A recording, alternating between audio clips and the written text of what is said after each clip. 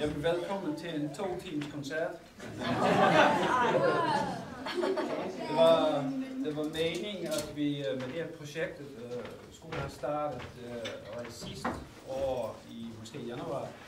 Men øh, der kom så den famøse lockout, og der holdt vi sit projekt øh, i standby. Da så lockouten var forbi, fandt vi ud af, at øh, uh, skolelærerne og lærerne ikke har overskud til at starte projektet op, så vi valgte til at vente. Og uh, så medio uh, september 2013, der startede vi så op i, uh, i 5. og 6. klasse. Og øhm,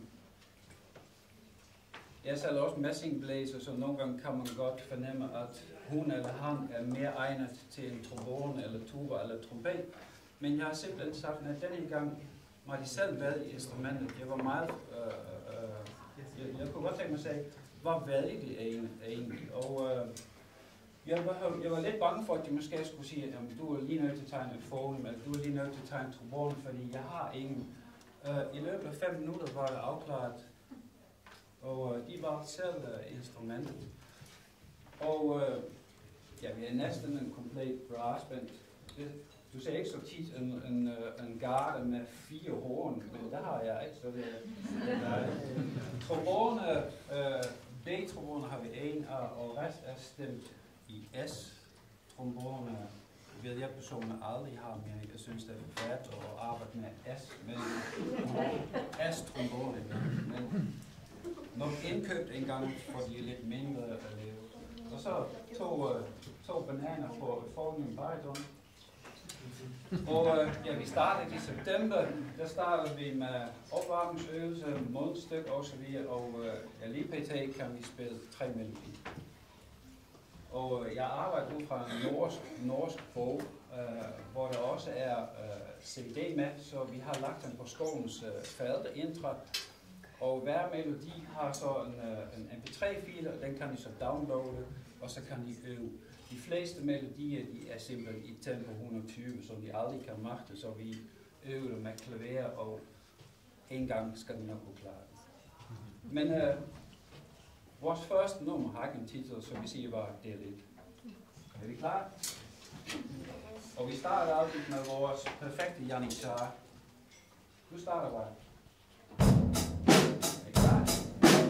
see.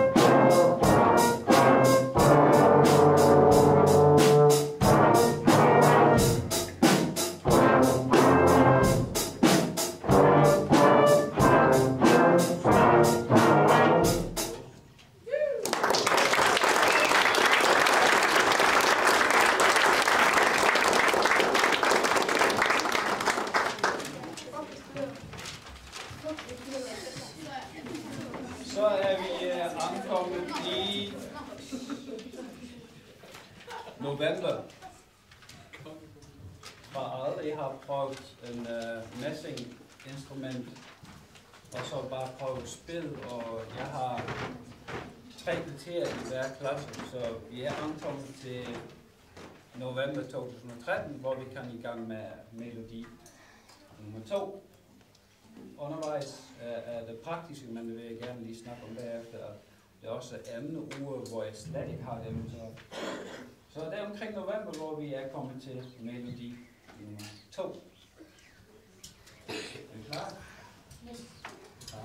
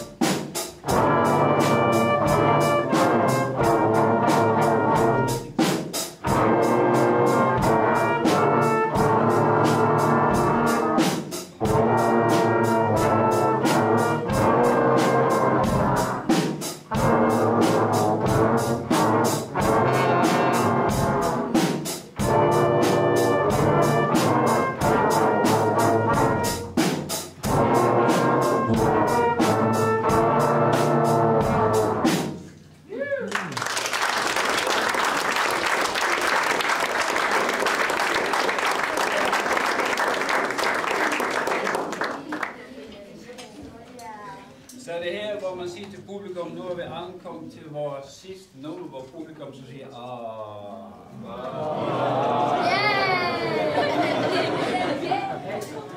Vores sidste nummer er så den, vi har startet på lige før jul og lidt her i januar, og det er så den her, hvor jeg begyndte med nummer tre, lidt swing og rytme.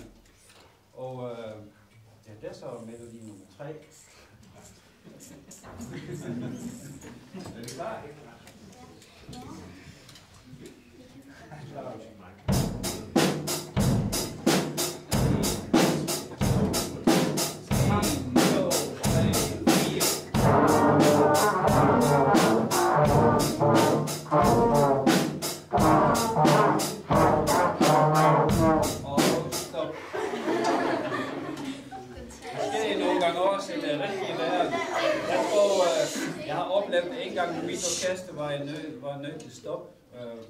Være lidt, øh, tørre det, men det gik ikke så godt. kan du huske melodi igen?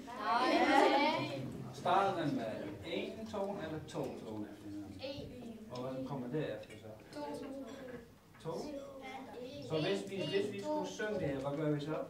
Fa, fa, fa, da.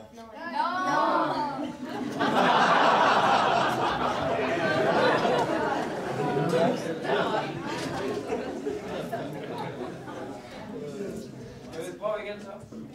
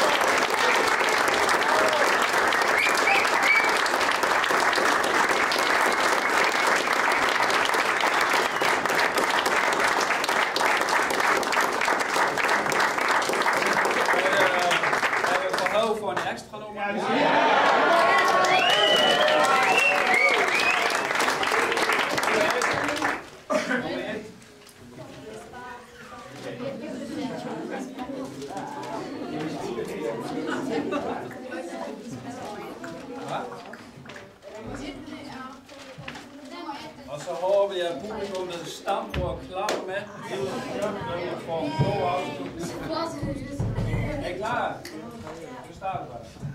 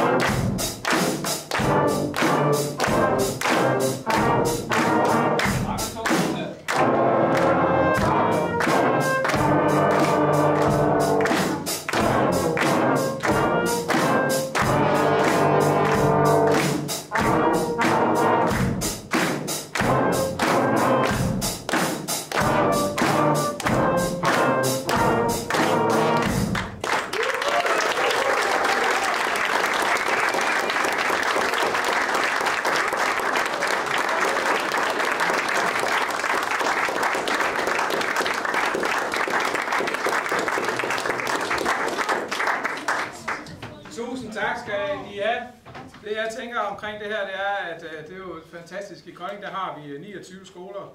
Det her, det bruger vi cirka en lektion på om, øh, om ugen.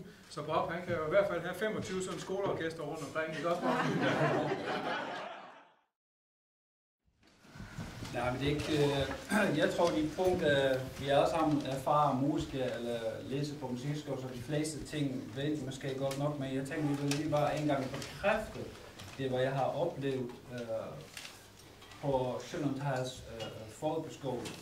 Jeg har også haft et projekt gående øh, fra Kolding Musikskolen på en skole i Kolding, øh, hvor det så meget lovende ud. Det hele var fantastisk, men da jeg så startet, viste så, at selv skolen ledelse, øh, det var ikke rigtig en opbakning, og jeg skulle virkelig kæmpe for ting, og ingen forældrekontakt og så videre. Den, den projekt blev ikke hurtigt, men efter et år, øh, så sluttede jeg øh, den der projektet. Jeg har grå hår, men jeg kan ikke rigtig have flere grå hår. og, øh, men så startede vi på Sjølund Hals øh, skole, og indtil vi er den bedste oplevelse, jeg har haft. Og det er primært det, vi skal huske. Øh, øh, vi skal have fuldstændig opbakning fra ledelsen fra folkeskolen. Og en eventuel musiklærer, som også bakker op. Har du ikke opbakning fra ledelsen fra den skole, så kom du ingen vegne. Og der har jeg oplevet, at jeg har haft 100% øh, støtte fra, fra den her skole. Det er nogle møgbørn, jeg har at gøre med her. og de kommer ind i en klasse, og i stedet for at de skal sætte i en rundkreds og uh, sætte på en stol og kigge i en dansk sangbog, så er pludselig det her, at de øh, et, et skoler i hvert fald får lov til at spille i blæseinstrument, og her kommer efter min mening en plus, det er, at en del her, synes jeg, uh, de fleste de tænker, hvad det her, jeg har ikke rigtig tænkt på et blæseinstrument. Jeg har måske tænkt på fodbold eller spejl, men blæseinstrument har de faktisk ikke tænkt på. Men nu pludselig skulle de uh, spille, og, og min fornemmelse er, at i hvert fald et par stykker har pludselig sagt, hey, det er alligevel rigtig sjovt at, at prøve at, at spille i, uh, i uh, Øh, bruge et blæseinstrument som instrument. Øh, så det synes jeg er en plus, at vi også kan ramme måske nogle potentielle elever sent til musikskolen. Der er en del her, som jeg anser som en lille uh, talent, selvom de siger, at jeg giver ikke rigtigt, men dem skal jeg lige snakke med bagefter. uh, der er også nogen, der er totalt ikke er egnet til og det vil jo så godt, de terroriserer af til undervisning, hvor er de hen? Nej, jeg kan ikke uh, Og det er så det, vi er kommet til, det er, at uh, vi som musikere, når vi kommer fra kunst, jeg tror ikke rigtigt, vi har de uh, pædagogiske redskaber, og pludselig går ind i en uh, folkeskole, uh, hvor der pludselig sætter 30 børn, hvor måske 10 siger, ej, giv ikke, og larmer og råber og skriger, og uh, når vi arbejder på musikskolen, og vi har en, uh, en samspilgruppe, der behøver jeg ikke sige, 10 nu stille, hold op for helvede. Det, det, det gør ikke på musikskolen, fordi de her børn er interesseret, som min opfattelse er, at vi uh, som musikskolelærer måske, måske skal have et eller andet efteruddannelseskursus, hvordan vi takler eller har lidt mere pædagogiske redskaber til at fungere, hvis vi kommer ind i en folkeskole. Hvis det er, hvis det er ind i øh, den 3. eller 4. lektion, hvis vi snakker om øh, efterskoletid, eller noget, så er det mere frivilligt. Øh, det var også øh, øh nogen her, der sagde, skal jeg virkelig med i eftermiddag? Mm. Og den slags ting. Jeg ved ikke, om jeg har ret, men det, det føltes for mig som, at jeg nogle gange øh, rigtig har behov for, særligt med godt takle de her binære her. Men øh, jeg tror, vi har brug for måske et eller andet form for kursus øh, i til pædagogik. Øh, hvad har jeg mere sagt? Øh, ja skal sige lidt om undervisningsformen for, øh, hvor, hvor, længe, hvor længe I øver, hvordan I øver, om der, der er nogen form for instrumental undervisning, øh, Ja. som vi kender det egentlig. Øh, nu er jeg så først startet op fra, fra september, så først det basale skal i gang. Øh, hvad er det for et instrument, hvordan puster jeg på et mundstykke, og øh, vi er nu kommet så langt, at vi nu starter, eller jeg nu starter, også med at til nogle soloundervisning. Og det er også igen dejligt, at jeg har den opbakning fra, fra skolen, fordi jeg har sagt, hvis jeg, hvis jeg skal give dem alle sammen en kvarter, en kvarter soloundervisning, så skal jeg starte kl. 8 om morgenen. Og hvornår er jeg så færdig en gang? Øh, så jeg, jeg, jeg har lavet en aftale, at jeg fordeler det på nogle dage om ugen. I visse uger kommer jeg så forbi, og så får de soloundervisning, fordi nogen trænger til lidt mere, de, mere, de smarte helt blandt os har måske opdaget, at trækpersoner kunne spille fire forskellige toner på træk 1. Flot drejet. Og øh, så vi trænger lidt til nogle øh, soloundervisning. Og, og det sker så nu. Så nu starter soloundervisning. Men øh, det rammer også øh, den almindelige hverdag for dem, som matematik eller, eller dansk undervisning. Men her øh, læser også meget Lars og har sagt, Bob, du fortæller bare, hvilken uge du vil komme forbi. Og øh, så laver jeg en liste, jeg jeg starter kl. 9, og så hver kvarter lyder ind. Og hvis det så lige rammer deres matematikundervisning, der er ingen problem, så må barn øh, eller lige gå væk fra den time, komme hen til mig i musiklokalet, og når hun er her færdig, må hun komme tilbage igen. Øh, det er det, hvor vi har gang i nu. Og tak at en fuldstændig god opbakning fra, fra skolen. Må du spørge mig? Ja, ja. Det er, er det 5. og 6. Det er 5. klasse og 6. Ja. klasse, ja. Og øh, jeg har to spørgsmål. Dels så vil jeg vide, er det en musiklærer eller er det en skolepædagog? Det er en Øh, musiklærer. Det er musiklærer, der kommer med. Og er, er øh, musiklæreren med i alle timerne, eller er det kun sådan øh, ved højtidelige lejligheder? Nej. Du er Det med i er, alle det er mig, der har alle musiktimerne på skolen. Og så, så, så vil jeg også spørge, den her time, som, øh, som I har, den her orkestertime, er det øh, en time ud over de anbefalede øh, timer, eller er det en del af de anbefalede? Altså, hvor mange lektioner har I musik En ud over lektion. det her? En lektion. Det er, jeg har valgt at sige, at det netop ikke er frivilligt, fordi det foregår i den eneste musiklektion, som eleverne har om ugen. Så derfor deltager alle eleverne fra begge klasser. Og, og, og de har kun den ene lektion om ugen. De har ikke en, en øh, altså der er ikke to lektioner til det. Nej. Er der nogen, der spiller andre instrumenter, eller har spillet andre instrumenter, eller... Nej. Så jeg var lige her. Ja. Hvad har du spillet?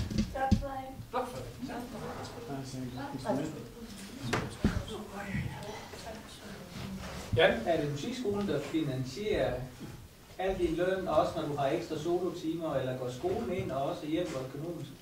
Uh, solo-timer er en frivillig ting, jeg har gjort. Uh, der har, vi lavet nogle indbyrdes aftaler om, at jeg får en lidt ekstra julegave og så videre. Han er, næsten lige så skarp som mange Uffe derovre. Nej, det er skolen, altså det, det er, skolen finansierer øh, Lone, og Kolding Musikskole finansierer Bob. Øh, vi er i gang med, og det gør vi her i opstartsfasen, og øh, det er rigtigt, at skoleledelsen, altså på Sjælland Hej, Hejls øh, Jan, er ekstremt øh, fokuseret på, at det her det er noget, der skal fortsætte, og som også skal finansieres øh, på, det, på sigt af skolen. Øh, men det, der lå i for dem, det var, at de havde egentlig håbet, at de efter sommer kunne gå ind i finansieringen, men på grund af, at, øh, på grund af konflikten, og på grund af de timer, som skulle læses op, som man var kommet bagud på grund af lockouten, så havde man simpelthen ikke øh, de midler at disponere over som sådan. Så det er øh, i, det her, i det her tilfælde øh, på sigt et rent folkeskolefinansieret projekt. PT i opstartsfasen er det en 50-50. Uffe. Og er lige et øjeblik for sent, så det kan være, at der er spurgt om, hvordan, hvordan vælger I jeres instrument? Er det fordi, I har lange arme, skal spille trækpersoner, fordi I er store eller skal spille tuba, eller hvordan, øh, hvordan har børnene fået deres instrument? Øhm, de, øh, de har selv valgt instrumentet, hvor jeg naturligvis var ops på, øh, om de egner sig til instrumentet. Øh, men jeg synes, jeg var heldig i det her tilfælde. De har selv valgt instrument. Men der blev ikke nogen til overs, altså sådan alle de trækpersoner. Der var simpelthen en god fordeling. Ja, ja. Nogle dejlige børn, det synes jeg. Ja. Men så lige spørge, øh, har, har I instrumenter med hjemme, eller ligger de på skolen? I skal jo frem og tilbage i skole der om onsdagen, når I har fester. Hvor meget øver I er derhjemme? Mandag. Hvor meget øver I derhjemme? Mange timer øver I hver dag?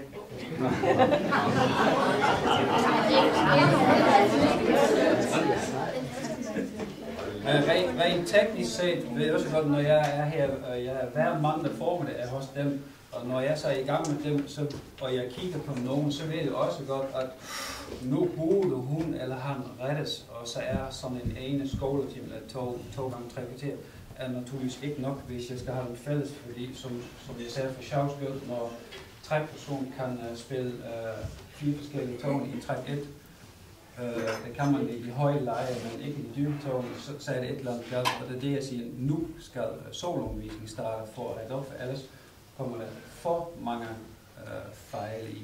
Så på vores tidspunkt øh, burde solundervisning også starte. Hvordan vi takler det, det ved, det ved jeg ikke, fordi det kræver ekstra tid.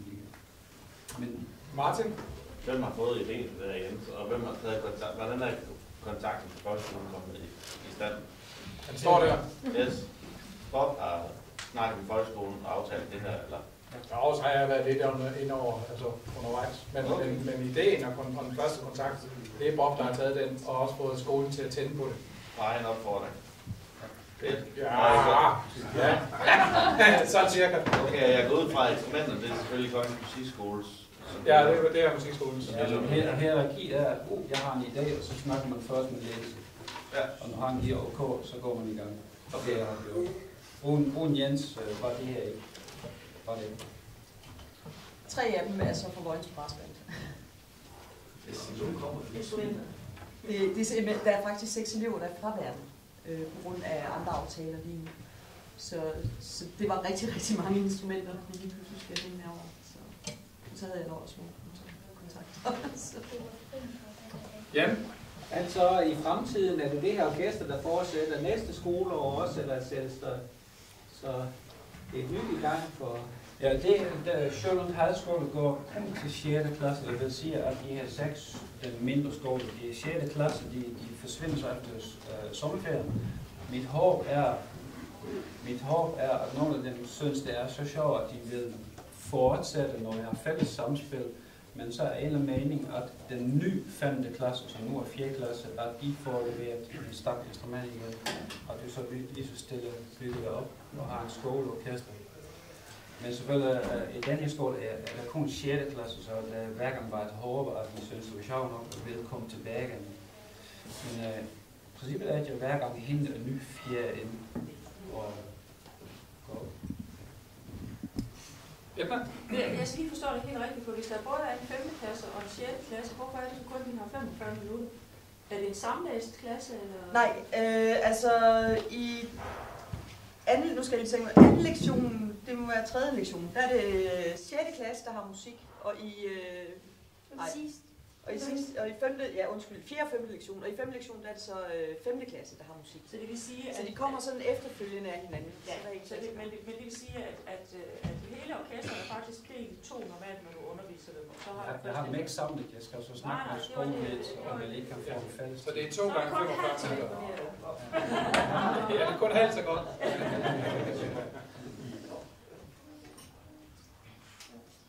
Ja, Christine? Jeg har et spørgsmål til børnene. Synes I, det er sjovt? Ja.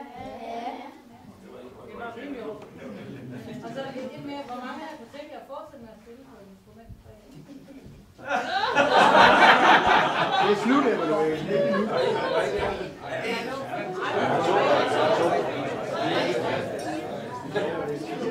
Der sidder faktisk en 4-5 stykker. For mig er det, vil jeg sige, at det, det er jo langt mere end det, jeg egentlig tænker, og jeg synes jo, det er fantastisk, og I skal være noget så velkommen. Øh, men, men jeg tænker egentlig ikke, at det ikke er nødvendigvis det, der er målet. Øh, målet er jo helt elementært at få, øh, få givet børnene en oplevelse, en musisk oplevelse af noget samvær, og hvad der er nogle muligheder i, i, i musikken. Og det er at hjælpe og bidrage til, at man på skolen har et, øh, et miljø, et fælles miljø. Øh, Det, at der så eventuelt kommer nogle elever ud af det, som elsker at dyrke, det, det er bestemt en bonus, men for mig er det øh, helt personligt det er ikke, ikke målet i det her. Jeg ved, at der er nogen her, der gerne vil fortsætte, men vi ved, hvordan det er børn ind i folkeskolen. De tør ikke rigtig at sige det til hinanden. Men det er, det er en del her. Det er, Ja, jeg tror, ja, er der lige, er der flere spørgsmål? Nej, så tror jeg, at vi siger tusind tak til Sjøren